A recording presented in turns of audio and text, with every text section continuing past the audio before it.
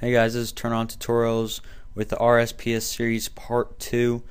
Um, today we're going to just show you how to change your home to the location you want it at. First off, we're going to open up your source and click the run batch file and open up your client. Just quickly minimize your folders and minimize the CMD. Now, just log in with the account we made on part 1 because it's admin. We're using Atlanta enter world. Once you enter the world, you're gonna if you moved locations, uh, just go home real quick, and then once you're home, type in colon colon data on. This will find the location you're at now. If you look at the bottom left of your screen, the coordinates are 28312973. Yours might yours might be a bit different, but it doesn't really matter. Let's just carry on. First off, you're going to want to go back to your source and type in in the global search clicking buttons. You'll open the file clicking buttons.java. You're going to do control find and find the first coordinate, the x. So ours is 2831. Yours might be a little bit different. And once you do that, you're going to find the area you want to change. So now we're going to use Edgeville because that's a common area people usually use. It's a great place for PKing servers. Just yeah. Alright, so we're going to use this area right here. Our coordinates are now 3086. So it's basically on a grid. So you're just going to quickly change this to 3086 and the next one to 3498. Alright, you've now just changed your home to the area you want it at just save that file and compile your server.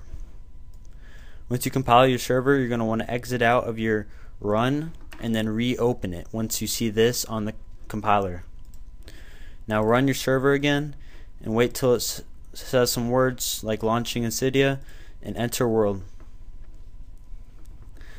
Now if you look, if you press home, it'll now bring you to the new location.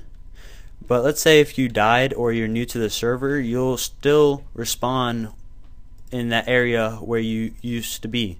So you're just going to log out real quick and go to src server and config.java. You might want to change some of the stuff up here. Right now we're just going to leave it the same and scroll down a bit. In this file, you could change the XP rates and everything, but right now we're just going to change where you respawn once you die or where your start location is. Right now, you're gonna uh, you're gonna see you're gonna find respawn and start location.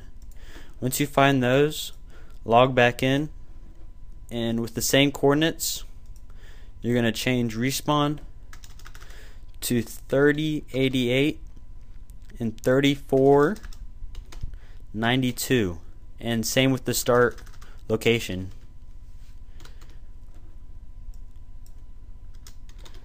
Once you do that just exit and save again.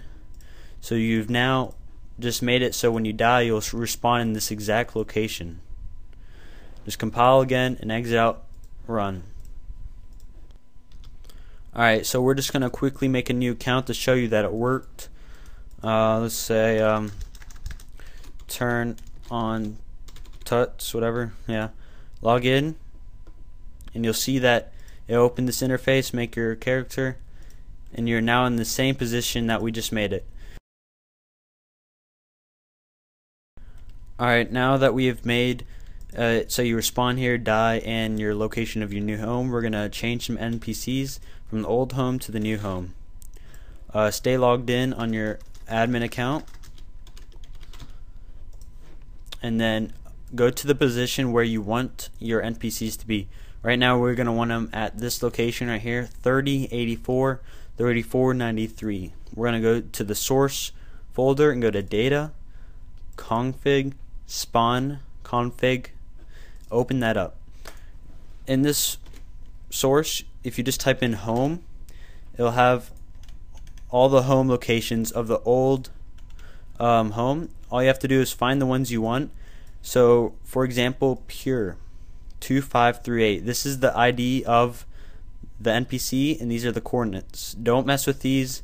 You can mess with this one. Just change it to 1 if you want it to walk, or keep it at 0 if you don't want it to walk and stay in position. Right now we're just going to want it to walk just to show you guys. And this is at the old location, and we want it right here. So we're going to change the position to 30, 86, and 34, 94. Alright, we're going to do one more NPC just to show you. We're going to make it the skills. We're going to make it at 3497 and 3087. Now this NPC isn't going to walk and this is the skiller NPC. Just exit, save, and again compile to save your work. Alright, just exit out your run again and you're going to have to rerun it once the compiler is done and it is done. Just rerun it and log back in. If you notice now, this NPC is here and it is walking since we changed it to 1 and this NPC is still and yeah. So, so far we've changed your home, moved the NPCs and respawn in uh, start location. Thanks for watching. This is part 2 of the series. There's more to come. Rate, comment, uh, subscribe. Thanks. See ya.